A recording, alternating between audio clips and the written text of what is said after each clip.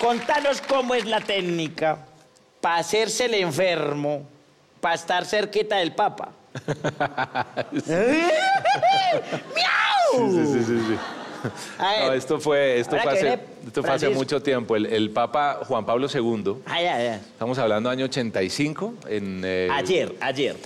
Yo estaba, ayer, sí, yo estaba celebrando mi- mis cumpleaños y estaba pasándome un tiempo donde un tío en Roma, mi tío Augusto, que estaba de... Esa gente es anécdota estrato 6, preparados todos. Sí, no, entonces el tío vivía en Roma. Yo fui un tiempo donde mi tío, y mi tío era diplomático.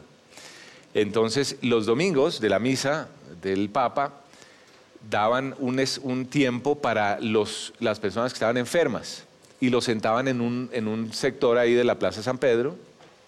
Mi tío nos consiguió un par de sillas a un primo mío y a mí. Y allá llegamos, y allá llegamos y efectivamente cuando llega el Papa termina la misa. Tosiendo. No, no, no, no, nos hicimos- además súper elegantes nosotros. Yo andaba, ¿no hay foto por ahí de eso? Yo andaba súper elegante, corbata, Vea. toda la cosa. Ahí está, mire. Véamelo, véamelo. Ahí que dijo Juan Pablo, me pareció ver un lindo gatito. Ay, miren a esta peta, es que haciendo el, ahí no está haciendo el enfermo, hermano. Ahí, ahí está, conoció a, a Juan Pablo, ¿a qué nivel? Al santo, es un santo. ¿Y qué te dijo?